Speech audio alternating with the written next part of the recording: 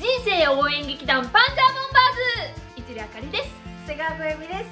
今日もパンあかりとボンコユミ行くぜ今回の動画はですね、はい。ちょっとテレビを見てていやこれ嘘やろって思ったことあるんですけども。はい。急に来た。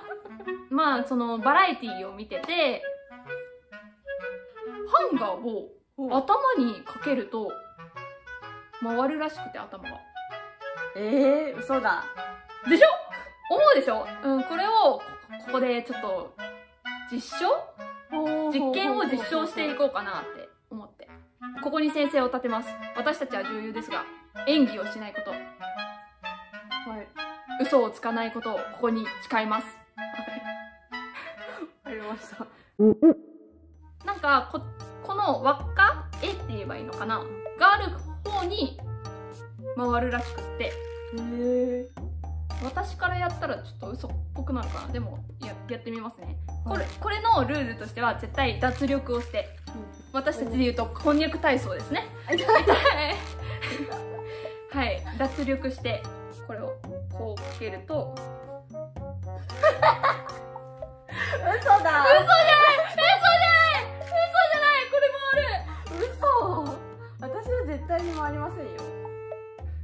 脱脱力してね。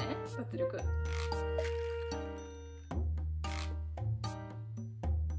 だ絶対嘘だあでも確かに引っ張られる感じはあります。でしょ？脱力して。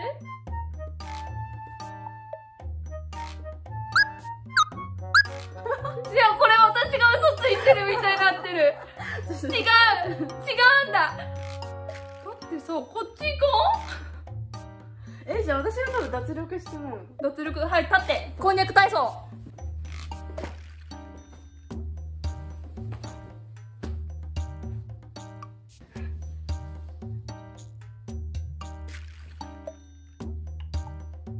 ああ でもなんか思ってたのと違うなんか私がすごいね嘘ついてるみたいな。自分で持ってきてお前嘘っぱちやろみたいなことになってるよこれ。いやわかります。よあのこうするとこっちになんかちょっとこうグッと持ってかれる感じはあるんですけどなんかそう勝手に行くっていう感じじゃないというか意思はとどまってるというか。えー、これはダメなんだよ。脱力しないといけない。脱力できてないんだな小みしてます？よ いつも。いつもいつも脱力してんの？皆様お家に絶対あると思うので針金のハンガーをはめてみてください。絶対私嘘じゃないんで。嘘ついてない。先生したんで。この子が特殊。特殊。特殊なだけ。嘘ついてない。嘘嘘。嘘な。んだあー演技力うまいさすがです。わ。まあね。どっちが本当か。皆様が試してみてください。真実はあなたの中にある。